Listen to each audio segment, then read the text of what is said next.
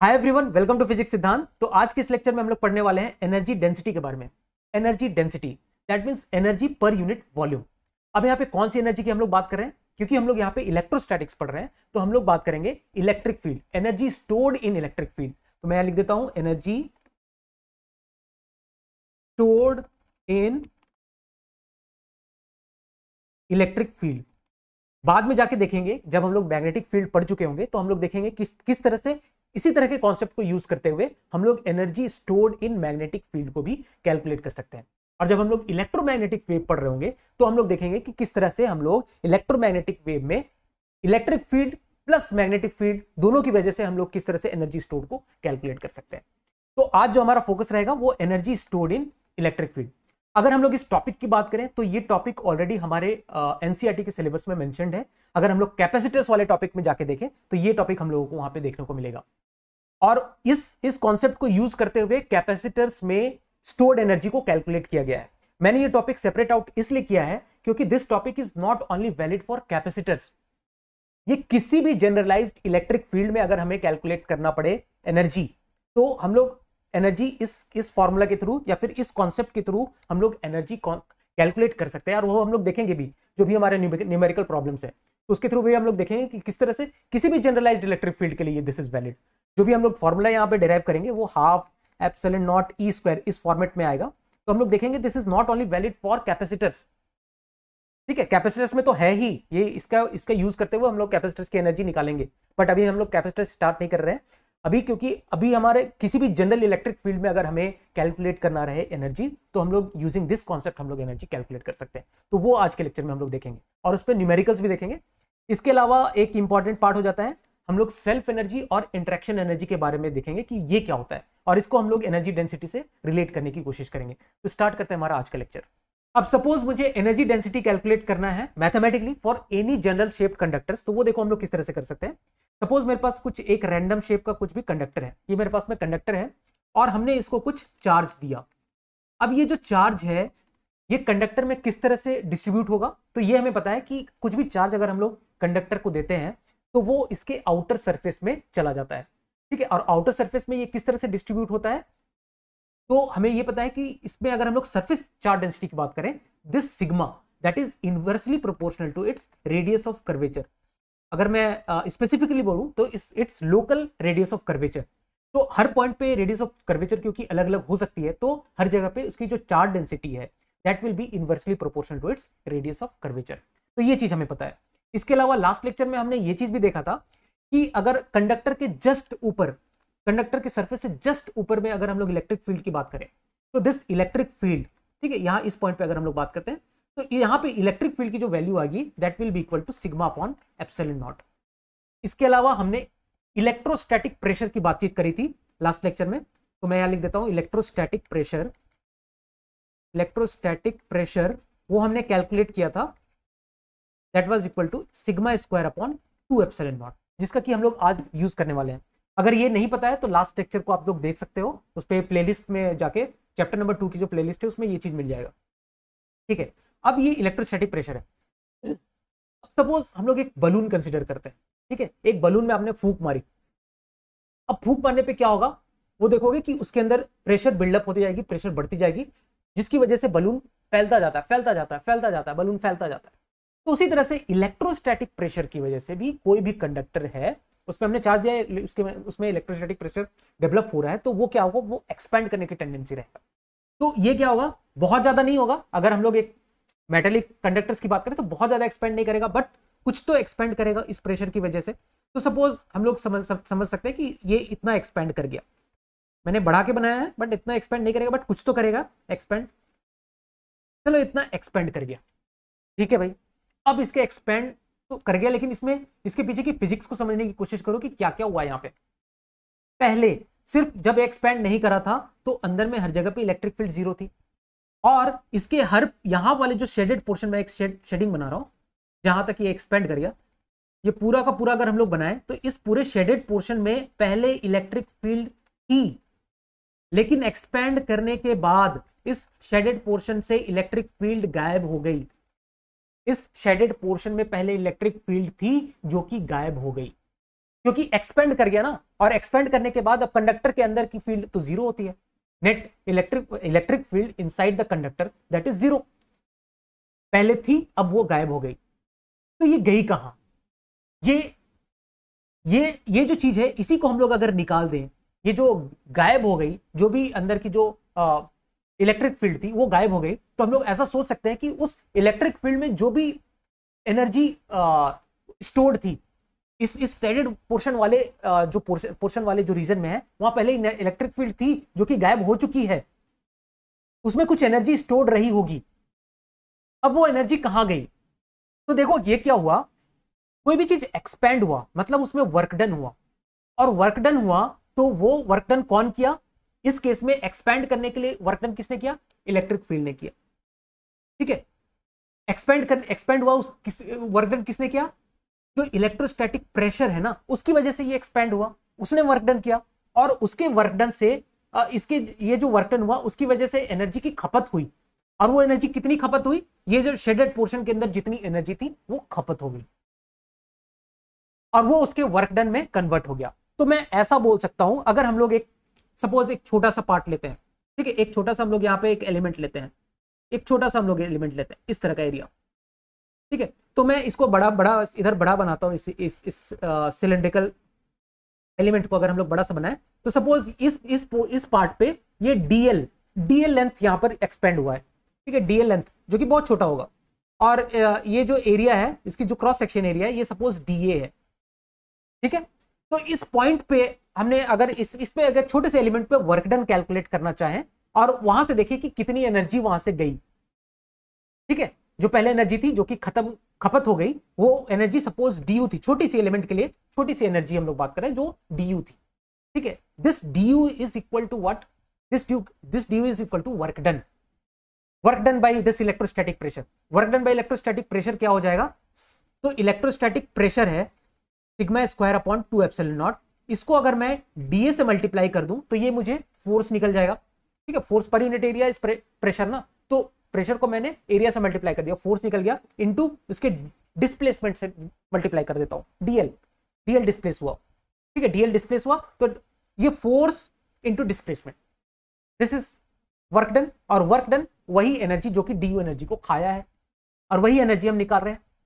ठीक है और इस इसमें इतने इतने छोटे से पार्ट में कितना एनर्जी है? पर पर यूनिट वॉल्यूम हम लोग देखेंगे किस तरह से निकाल सकते हैं।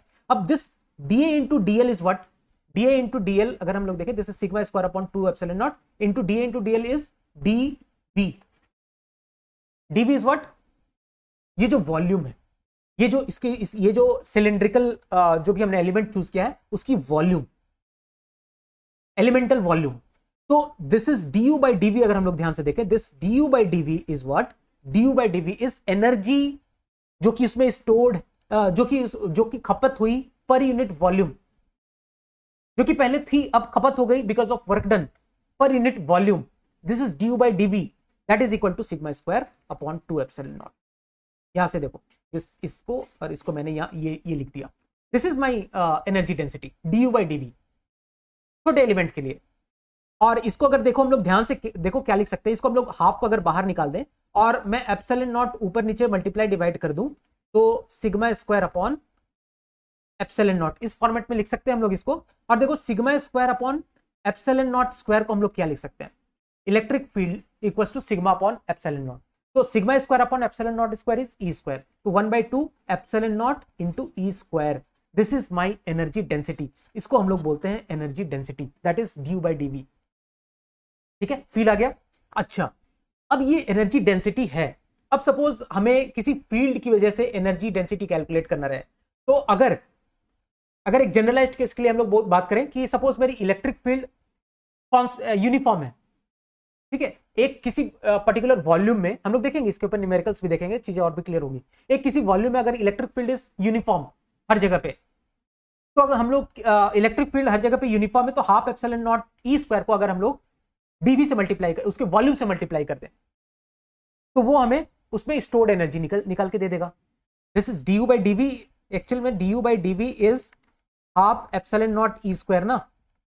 अगर this is this is energy density energy per unit volume energy D U is energy per unit volume D U by D V तो अगर हम लोग एक, किसी पर्टिकुलर एरिया में रीजन में अगर इलेक्ट्रिक फ़ील्ड इज़ यूनिफॉर्म तो हम लोग, और उस पर्टिक उसमें अगर एक वॉल्यूम अगर हम लोग कंसिडर करें, छोटे या बड़ा जहाँ पे वो पूरे पूरे वॉल्यूम में इलेक्ट्रिक फ़ील्ड अगर वहाँ पे कांस्टेंट है या फिर यूनिफॉर्म है तो हम लोग सिंपल उस, उसमें जो भी स्टोर्ड एनर्जी है, ठीक है एनर्जी डेंसिटी एनर्जी डेंसिटी तो डी बाई डी होगा स्टोर्ड एनर्जी हम लोग डायरेक्टली डीवी को इससे मल्टीप्लाई करके कैलकुलेट कर सकते हैं।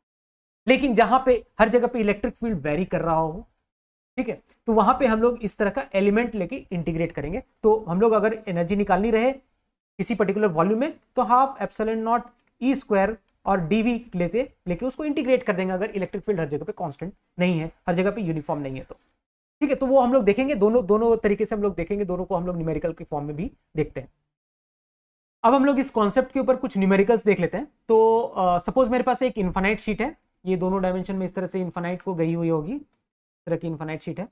और इसकी जो सर्फेस चार्ज डेंसिटी है सपोज़ सिग्मा ठीक है और यहाँ पे एक क्यूब रखा हुआ है क्यूब की जो साइड लेंथ है that is A this is cube हमें बताना है कि energy in the cube energy in the cube कितनी है? ठीक है using the concept of this energy density ठीक है तो हमें एनर्जी डेंसिटी पता है D U by D V that is equal to this is D U D is what elemental this energy per unit volume D V is per unit per unit elemental volume du by dv, that is equal to half epsilon naught into E square ये हमें पता है। ठीक है, और ये भी पता है कि electric field due to infinite sheet that is equal to sigma upon two epsilon naught ये चीज़ भी हमें पता है। ठीक है? किसी भी जगह पे अगर हमें इलेक्ट्रिक फ़ील्ड कैलकुलेट करना हो due to this infinite sheet infinite sheet में इस तरह से चार्ज होगा तो उसकी वजह से कहीं पे भी अगर हम लोग इलेक्ट्रिक फ़ील्ड कैलकुलेट करना चाहें तो that will be equal to sigma upon two epsilon naught ठीक है? और डी यू बाई डी भी मुझे ये दिया हुआ है तो मुझे इसके अंदर इसके अंदर कितनी एनर्जी है वो कैलकुलेट करना है तो वो हम लोग कैसे कर सकते हैं? देखो, यहाँ पे इस क्यूब के अंदर, हर जगह पे D U by D V is constant या फिर इसको अगर ऐसे ऑल्टरनेटिवली ऐसा लिखना चाहो डी यू ले डी को ऐसा लिखो that is equal to this times of D V और हम लोग इंटीग्रेट कर दें for this cube for this cube half is constant epsilon naught is constant E square is constant बस मुझे इंटीग्रेट करना है what integrate integral of D V that is my energy inside the cube So that is equal to half into epsilon into e square. E square is also constant na, so sigma square upon 4 epsilon naught square. E square is this na, Sig, is, E square is sigma square upon 4 epsilon naught square into dv. dv is a cube. Cube की volume कितनी है? a cube. So this is the energy inside this cube. तो simplify कर लो. Uh, this is 1 upon 8 epsilon naught से एक epsilon naught cancel हो गया. Sigma square 1 upon 8 sigma square upon epsilon naught into a cube. This is my energy, energy inside the cube. तो इस तरह से हम लोग इसके छोटे मोटे क्वेश्चन को सॉल्व कर सकते हैं। अब हम लोग नेक्स्ट कैलकुलेट करेंगे energy of hollow conducting hollow non conducting या सॉलिड कंडक्टिंग तीनों सेम है। तो इसकी एनर्जी हम लोग कैलकुलेट करेंगे तो मैं लिख देता हूँ एनर्जी ऑफ़ हॉलो कंडक्टिंग बोल दें हॉलो कंडक्टिंग स्फीयर या फिर हॉलो नॉन कंडक्टिंग बोल दें, या सॉलिड कंडक्टिंग बोले तीनों सेम है। बात यह है कि इसमें जो चार्ज है, वो इसके सरफेस में इस तरह से डिस्ट्रीब्यूटेड है। ठीक है? तो इसकी वजह से एनर्जी हमें कैलकुलेट करनी है। तो इसकी वजह से एनर्जी हमें ऑलरेडी पता है। सपोज़ इसकी रेडियस इज़ आर तो हमें पता है इसकी वजह से एनर्जी है that is equal to potential energy हमने ऑलरेडी कैलकुलेट कर रखा था इसका। याद करो that is equal to K Q square upon two R तो इसको हम लोग कैलकुलेट करेंगे using the concept of energy density तो वो देखते हैं हम लोग किस तरह से कैलकुलेट इसमें एक चीज़ है, हमें एक चीज़ की फील आएगी इसमें, कि एनर्जी अगर मैं पूछूँ कि एनर्जी कहाँ से कहाँ तक इसमें डिस्ट्रीब्यूटेड है तो एनर्जी इनसाइड द स्फीयर तो नहीं है, क्योंकि जो चार्ज है क्योंकि जो इलेक्ट्रिक फ़ील्ड है, वो इनसाइड कितनी है? Electric field inside is zero ठीक है? यूनिफॉर्मली इस तरह से चार्ज अगर डिस्ट्रीब्यूटेड है तो electric field inside is going to be zero और एनर्जी बाहर कुछ है इलेक्ट्रिक फ़ील्ड बाहर कुछ है, ठीक है? तो बाहर, जो इसकी इलेक्ट्रिक फ़ील्ड है, ये बाहर में इस तरह से इलेक्ट्रिक फ़ील्ड इसकी होगी। तो जो इसकी एनर्जी होगी ना, वो बाहर कहाँ से कहाँ तक वेरी करेगी? एनर्जी कहाँ से कहाँ तक स्टोर्ड है? Energy stored from R to infinity क्योंकि इलेक्ट्रिक फ़ील्ड वहाँ से आर टू इन्फिनिटी तक एग्जिस्ट कर रहा है तो एनर्जी भी आर टू इंफिनिटी ही इस तरह से फैली हुई होगी। तो ये बात हमें समझ में आती है। अब वो कितनी होगी? Using the concept of this energy density वो हम लोग कैलकुलेट करते हैं। तो देखो अगर हम लोग एनर्जी uh, डेंसिटी की बात करें तो that is equal to energy density D U D D U by D V that is equal to half epsilon naught into E square ये हमने देखा था। अब देखो यहाँ पे हर जगह पे इलेक्ट्रिक फ़ील्ड अलग अलग है। लेकिन अगर हम लोग बात करें एक सपोज़ हम एक स्फेरिकल सरफेस इस तरह से कंसिडर करें आर आर डिस्टेंस पे इस तरह से स्फेरिकल सरफेस कंसिडर करते हैं आर डिस्टेंस पे तो यहाँ पे अगर मैं इलेक्ट्रिक फ़ील्ड की बात करूँ तो हर जगह पे इलेक्ट्रिक फ़ील्ड की वैल्यू कितनी हो जाएगी? That is equal to K Q by R square तो हम लोग इसका यूज़ करेंगे। इलेक्ट्रिक फ़ील्ड की अगर वैल्यू के क्यू बाई आर स्क्वायर है तो मैं एक बात बोलूँ कि अगर मैं बोलूँ कि अगर मैं एक यहाँ से डी आर थिकनेस का मैं कंसिडर uh, कर रहा हूँ आर थिकनेस का स्फीयर मैंने कंसिडर किया दिस इज़ माई डी ठीक है? तो मैं बोल सकता हूँ कि इस जो डी आर थिकनेस मतलब एक कंप्लीट वॉल्यूम आ गया ये। ठीक है? फोर पाई आर स्क्वायर उसका सरफेस एरिया आ गया। और डी आर थिकनेस को अगर हम लोग कंसिडर करें तो उस पूरे के पूरे वॉल्यूम में मैं इलेक्ट्रिक फ़ील्ड को कांस्टेंट मान सकता हूँ। ठीक है? तो आर से लेके आर प्लस डी आर तक आर से लेके आर प्लस डी आर तक जो भी थिकनेस है, उस थिकनेस वो जो वॉल्यूम है, उस वॉल्यूम में मैं इलेक्ट्रिक फ़ील्ड को कॉन्स्टेंट मान सकता हूँ। एंड वो वैल्यू उसकी वैल्यू कितनी होगी? के क्यू बाई आर स्क्वायर तो हम लोग ये चीज़ यूज़ करेंगे इसमें। तो हम लोग ऐसा बोल सकते हैं कि D U that is equal to half times of epsilon naught E square into D V मैं हर एक एलिमेंट के लिए इस तरह से डीवी लिखूँगा और उसको मैं इंटीग्रेट कर दूँगा। और वो मैं कैसे कर रहा हूँ कि जिस डीवी के लिए मैं ये लिख रहा हूँ, वहाँ पे इलेक्ट्रिक फ़ील्ड इज़ कांस्टेंट ठीक है? तो मैं, या अगर इस इस तरह के जो आर डिस्टेंस पे अगर मैंने एक स्फीयर कंसिडर किया है तो आर डिस्टेंस के स्फीयर के लिए मैं जो electric field K Q by R square लिख सकता हूँ और उसकी वॉल्यूम कितनी लिख सकता हूँ? उसकी वॉल्यूम में लिख सकता हूँ डीवी जो भी हम लोग लिखेंगे that will be equal to four pi r square वो तो उसकी सर्फेस एरिया आ गई, और इंटू डी आर उसकी वॉल्यूम आ गई। तो हम लोग यहाँ से बोल सकते हैं दिस इज़ इंटीग्रल लिया तो ये भी इंटीग्रल हो जाएगा। तो यू जो energy store from r to infinity r to infinity क्योंकि इलेक्ट्रिक फ़ील्ड वहीं पे एग्जिस्ट कर रहा है आर टू इन्फिनिटी में अंदर में इलेक्ट्रिक फ़ील्ड है नहीं तो U equals to this half बोल सकते हैं एप्सलन नॉट इज़ इसका कांस्टेंट आ गया r to infinity E square E square that means k square q square upon r raise to power four into d V is what d V is four pi r square d r simple अब इसको बस हमें solve करना है। Are square से एक times are square times में ये कट जाएगा और uh, ये देखो, four pi epsilon naught, four pi epsilon naught से एक के भी यहाँ से कट जाएगा। तो ये मेरे पास में निकल के आ जाएगा, यहाँ से देख सकते हैं यू की वैल्यू आ जाएगी। यू की वैल्यू आ जाएगी यहाँ से half times of k half के यहाँ से मैं इसको रिमूव करता हूँ। This is half times of k into q square ठीक है? Integral of one by r square d r from r to infinity तो this is k q square by two और वन बाई आर स्क्वायर का integral हो जाएगा minus one upon r one minus one upon r from r to infinity तो यहाँ से हम लोग देख सकते हैं this is equal to k q square by two into capital R तो ये मेरे पास टोटल एनर्जी स्टोर्ड है from r to infinity due to this hollow non hollow conducting hollow non conducting और सॉलिड कंडक्टिंग दैट मीन ऐसे sphere जिसमें charge जो है दैट इज़ ऑन सरफेस तो हम लोग इसको यहाँ से वेरीफाई कर सकते हैं, जो हमने ऑलरेडी पोटेंशियल एनर्जी के टर्म्स में कैलकुलेट किया था k q square by two r और हमारा रिज़ल्ट यहाँ से एनर्जी स्टोर्ड भी जो भी energy due to this energy density के थ्रू हमने जो कैलकुलेट किया, वो दोनों हमारा इस तरह से वेरीफाई हो रहा है। अब सपोज़ हम लोग नेक्स्ट कैलकुलेट करें energy of this uniformly charge solid non conducting sphere तो हमें पता है कि सॉलिड नॉन कंडक्टिंग स्फीयर है दैट मीन्स जो चार्ज होगी, वो इसके पूरे के पूरे वॉल्यूम में इस तरह से डिस्ट्रीब्यूटेड होगी। ठीक है, पूरे इंटायर वॉल्यूम में, क्योंकि ये क्या है एक सॉलिड नॉन कंडक्टिंग स्फीयर है नॉन कंडक्टिंग स्फीयर है। दैट मीन्स चार्ज जो है, इसके अंदर भी पूरे वॉल्यूम में पाया जा सकता है और इलेक्ट्रिक फ़ील्ड भी अंदर हो सकती है पूरे वॉल्यूम में। ठीक है, ये बात तो हमें समझ में आती है। और यहाँ हम लोग बोल रहे हैं uniformly charge this is uniformly हमने इसको यूनिफॉर्मली चार्ज किया है। दिस इज़ यूनिफॉर्मली चार्ज और इस केस में अगर हम लोग एनर्जी को वेरीफाई करें तो ऑलरेडी जो हमने पोटेंशियल एनर्जी के केस में ध्यान करो ये हमने ऑलरेडी कैलकुलेट कर, करके रखा था कि इसकी जो टोटल एनर्जी है ये कितनी हो जाती है? Three by five k q square by r अगर इसमें हमने टोटल क्यू चार्ज दिया है तो। तो इसको हम लोग वेरीफाई करेंगे। ठीक है? और अभी हमने एनर्जी डेंसिटी का कॉन्सेप्ट पढ़ लिया है तो हमें ये पता है कि जो एनर्जी है ये इसके अंदर भी होगी और इसके जो स्फेयर इसके अंदर भी होगी कुछ एनर्जी और स्फेयर के बाहर भी एनर्जी होगी।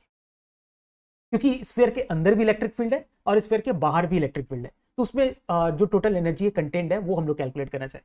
तो अगर हम लोग बात करें, अगर ये आर रेडियस का इस तरह का स्फेयर है E outside will be E outside that is equal to k q by r square this is k q by r square E outside और ई इनसाइड अगर हम लोग बात करें E inside that will be equal to k q r divided by r q तो इस तरह से इनसाइड और आउटसाइड हमें इलेक्ट्रिक फ़ील्ड पता है।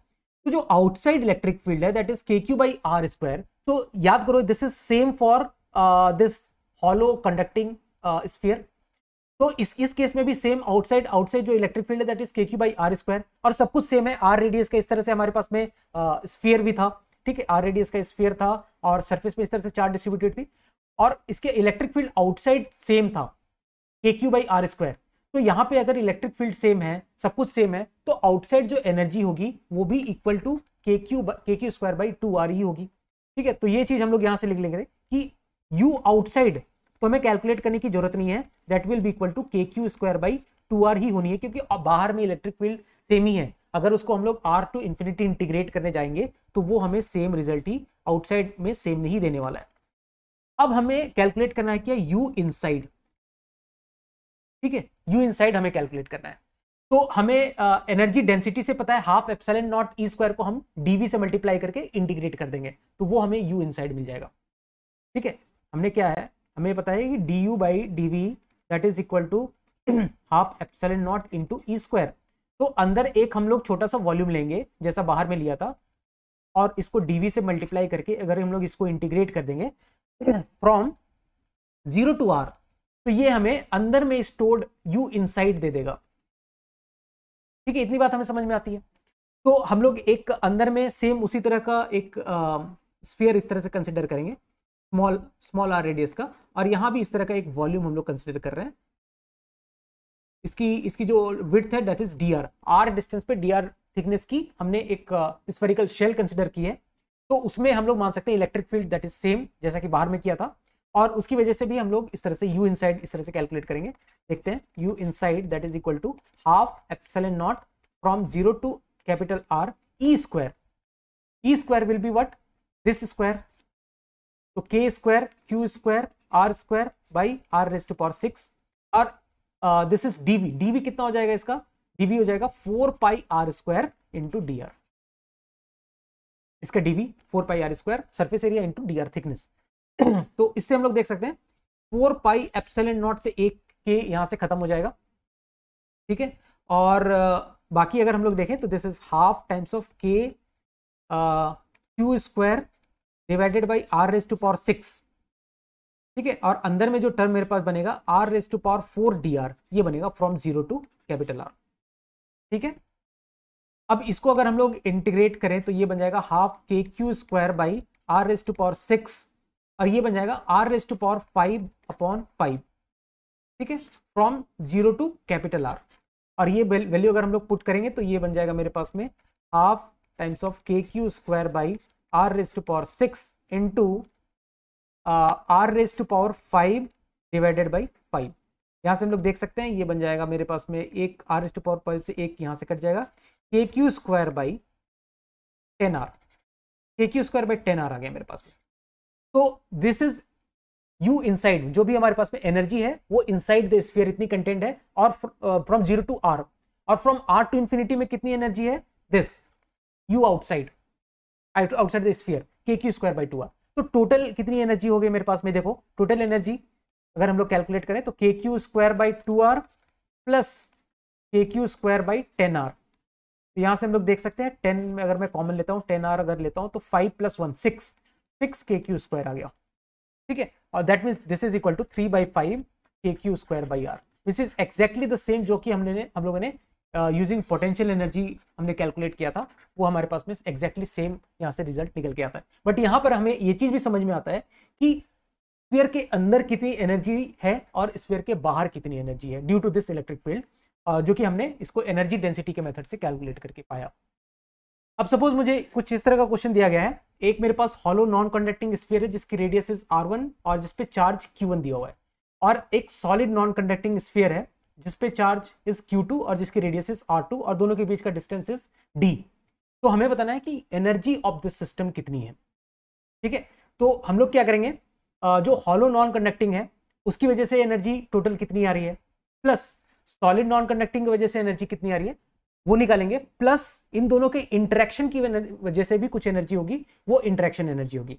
तो एक हॉलो नॉन कंडक्टिंग की खुद की वजह से जो एनर्जी है मतलब इसको भूल जाओ अभी सॉलिड नॉन कंडक्टिंग नहीं है तो उसकी वजह से जो एनर्जी है that is it self energy उसी तरह से सॉलिड नॉन कंडक्टिंग को हम लोग लेके आएँगे हॉलो को भूल जाओ तो उसकी वजह से उस पर खुद की जो एनर्जी है दैट इज़ सेल्फ एनर्जी वो उसकी सेल्फ एनर्जी होगी।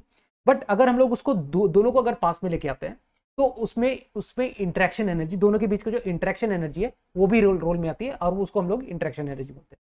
तो जो नेट एनर्जी होगी एनर्जी ऑफ़ द सिस्टम होगी वो हॉलो नॉन कंडक्टिंग की सेल्फ एनर्जी होगी प्लस इस सॉलिड नॉन कंडक्टिंग स्फीयर की सेल्फ एनर्जी होगी प्लस इन दोनों की इंट्रैक्शन एनर्जी होगी। तो हॉलो नॉन कंडक्टिंग की जो सेल्फ एनर्जी है वो हमने ऑलरेडी कैलकुलेट कर रखी है। आ, वो आ जाती है कितनी? K q one square by two r ये हमने भी कैलकुलेट टू आर वन ये हमने कैलकुलेट किया। ठीक है? ये तो हॉलो नॉन कंडक्टिंग है, जिसमें जो चार्जेस है, वो इसके सरफेस में इस तरह से सिर्फ़ डिस्ट्रीब्यूटेड है। उसी तरह से अगर हम सॉलिड नॉन कंडक्टिंग की बात करते हैं तो इसमें जो चार्ज है यूनिफॉर्मली ये इसके पूरे वॉल्यूम में इस तरह से डिस्ट्रीब्यूटेड है। तो उसकी उसकी वजह से मैंने कैलकुलेट किया, उसकी वजह से जो सेल्फ एनर्जी आएगी सॉलिड नॉन कंडक्टिंग की self energy that will be equal to three by five into k into q two square divided by r two ये हमने अभी डिफाइन किया। This is self energy of self energy of hollow non conducting ठीक है? उसी तरह से this is self energy of this solid non conducting अब दोनों की इंट्रैक्शन एनर्जी आ गई। तो इंट्रैक्शन एनर्जी में हम लोग क्या मान सकते हैं कि दोनों एक पॉइंट चार्ज की तरह होंगे और k into q one into q two by दोनों के बीच का सेंटर टू सेंटर डिस्टेंस यहाँ पे हम लोग क्यू वन चार्ज को मान सकते हैं यहाँ पे है क्यू क्यू चार्ज अपने सेंटर में लोकेटेड है तो उसकी एनर्जी हम लोग लिख सकते हैं k into q two q one into q two by d तो this is its interaction energy interaction energy तो एनर्जी को हम लोग कुछ इस फॉर्मेट में भी डिफाइन कर सकते हैं। तो होप आपको आज का लेक्चर बढ़िया से समझ में आया होगा। फिर भी कुछ डाउट होता है तो आप कमेंट सेक्शन में ज़रूर लिखकर बताएँ। तो हम लोग मिलते हैं नेक्स्ट लेक्चर में एक नए टॉपिक के साथ। तब तक के लिए थैंक यू सो मच